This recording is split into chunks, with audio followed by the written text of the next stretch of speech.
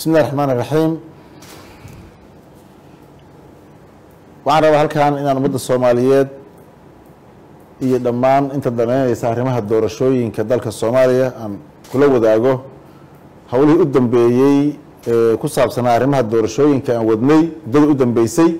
ee ahaa xal u helista ama xal u raadinta kala duwanaanshihii ama tabashooyinkii ka soo laabtay heshiiskii doorashooyinka toddobiyi tobankii setembar ku dhammaaday magaalada muqdisho. Sidaa darteed waa muhiim in la helo macluumaad ama warbixin ku saabsan hawshii socotay muddooyinkan dambe. Sidaad la wada socotaan waxaa jiray wadahadallo ku saabsan xal u helista arrimaha doorashooyinka oo aan toddobaadyadii la soo dhaafay ku tegey magaalooyinka gaalkacyo garoowe iyo muqdisho. Si la isugu soo dhoweeyo aragtiyada kala duwan ee laga qabo sidii doorashooyinka dalka hore loogu sii wadi lahaa. Aniga oo taas ka duulaya waxaan guddiga doorashooyinka heer federaal ka codsaday in ay muddo dib u dhigaan jadwalka doorashooyinka si fursad loo siiyo xalinta tabashooyinka ay qabaan dowlad goboleedyada puntland jubbaland iyo siyaasiyiinta kale. Intaas kadib waxaan wada hadallo maalmo socday la yeeshay madaxweyneyaasha puntland iyo jubbaland saciid deni iyo axmed madoobe saaxiibaday waxaan uga mahad celinayaa in ay iga aqbaleen inaan ka wada shaqayno sidii xal waara looga gaari lahaa arrimaha lagu kala aragti duwan yahay ee doorashooyinka ay ku qabsoomi lahayd wakhtigeeda waxaan si gaara ugu mahad celinayaa madaxweyne saciid deni oo runtii ila qaatay amaan isla qaadanay xal u helista arrimaha lagu kala duwan yahay. Hawshaas aan u istaagnay waxaan uga wada waxaan uga gol lahaa inaysan meel cidlo-a ku dhicin ama ku dhammaan heshiiskii doorashooyinka ee ku gaarnay muqdisho toddobiyi tobankii setembar laba kun iyo labaatan ayna ka sii horeeyeen gogashii ay reer galmudug dhigeen dhuusamareeb kow laba iyo saddex. Dareenkayga mas'uuliyadeed waxa uu ahaa mar walba inaan la xirin albaabka wada hadallada si niyadsami soomaalinimo ay ku dheehan tahayna inaan u xalinno tabashooyinka ka soo laabtay heshiiskii toddobiyi tobankii setembar laba kun iyo labaatan markii aan madaxda puntland jubbaland iyo dhinacyada kale asbuucii la soo dhaafay ku shirnay garoowe waxay si sharaf leh iga aqbaleen dhexdhexaadintii aan u istaagnay waxayna sidii waxayna ii soo dhiibeen qodobo sida soomaaliya dhan la wada socoto saddex ah oo ay ka dalbanayaan madaxda dowladda federaalka ah iyo dhinacyada kale inay fuliyaan si loo soo afjaro tabashooyinka ay ka qabaan arrimaha doorashooyinka. Kadib waxaan ku soo laabtay muqdisho aniga oo shirar la galay madaxweynaha jamhuuriyadda federaalka soomaaliya mudane maxamed cabdulaahi farmaajo iyo ra'iisul wasaare mudane maxamed xuseen roble intaas kadib waxaan dib ugu celiyey madaxweyne siciid deni iyo madaxweyne axmed madoobe iyo dhinacyadii kale tabashada qabay go'aankii madaxda federaalka ee ku saabsanaa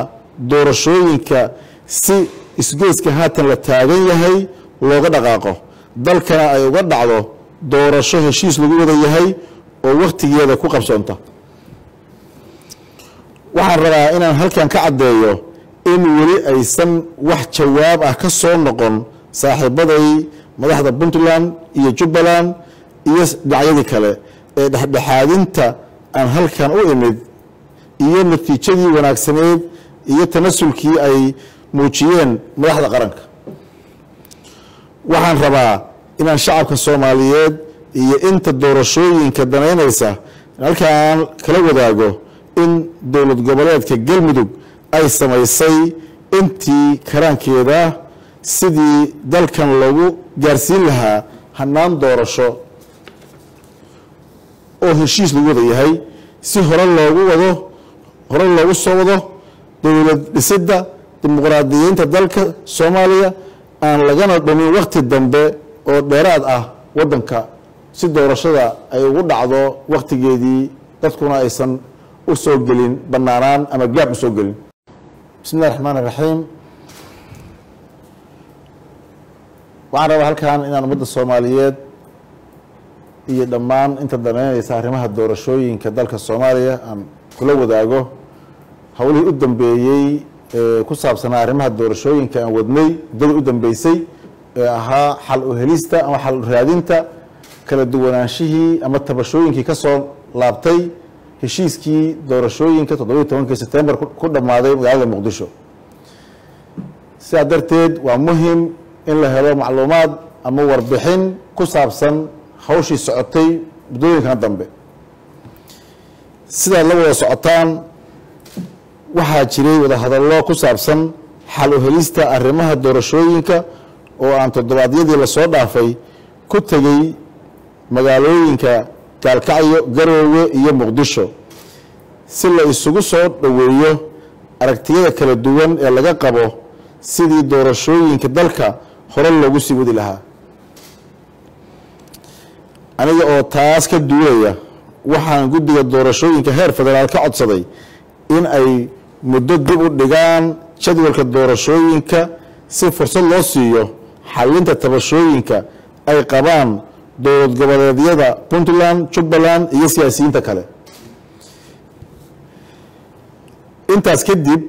waxaan wada hadallo maalmo socday la yeeshay madaxweyneyaasha puntland iyo jubbaland siciid deni iyo axmed madoobe saaxiibaday waxaan uga mahad celinayaa in ay iga aqbaleen inaan ka wada shaqayno sidii xal waara looga gaari lahaa arrimaha lagu kala aragti duwan yahay ee doorashooyinka ay ku qabsoomi lahayd wakhtigeeda waxaan si gaara ugu mahad celinayaa madaxweyne siciid deni oo runtii ila qaatay amaan isla qaadanay xal u helista arrimaha lagu kala duwan yahay. Hawshaas aan u istaagnay waxaan uga wada waxaan uga gol lahaa inaysan meel cidlo-a ku dhicin ama ku dhammaan heshiiskii doorashooyinka ee ku gaarnay muqdisho toddobiiy tobankii sebtembar laba kun iyo labaatan ayna ka sii horeeyeen gogashii ay reer galmudug dhigeen dhuusamareeb kow laba iyo saddex dareenkayga mas'uuliyadeed. Waxa uu ahaa mar walba inaan la xirin albaabka wada hadallada si niyadsami soomaalinimo ay ku dheehan tahayna inaan u xallinno tabashooyinka ka soo laabtay heshiiskii toddobiy tobankii sebtembar laba kun iyo labaatan markii aan madaxda puntland jubbaland iyo dhinacyada kale asbuucii la soo dhaafay ku shirnay garoowe waxay si sharaf leh iga aqbaleen dhexdhexaadintii aan u istaagnay waxayna sidii waxayna ii soo dhiibeen qodobo sida soomalilan la wada socto saddex ah oo ay ka dalbanayaan madaxda dowladda federaalka ah iyo dhinacyada kale inay fuliyaan. Si loo soo afjaro tabashooyinka ay ka qabaan arrimaha doorashooyinka. Kadib waxaan ku soo laabtay muqdisho aniga oo shirar la galay madaxweynaha jamhuuriyadda federaalk soomaaliya mudane maxamed cabdulaahi farmaajo iyo ra'iisul wasaare mudane maxamed xuseen roble. Intaas kadib waxaan dib ugu celiyey madaxweyne siciidani iyo madaxweyne axmed madoobe iyo dhinacyadii kale tabashada qabay go'aankii madaxda federaalka ee ku saabsanaa doorashooyinka si isgoyska haatan la taagan yahay looga dhaqaaqo. Dalkana ay uga dhacdo doorasho heshiis lagu wada yahay oo wakhtigeeda ku qabsoonta. Waxaan rabaa inaan halkan ka caddeeyo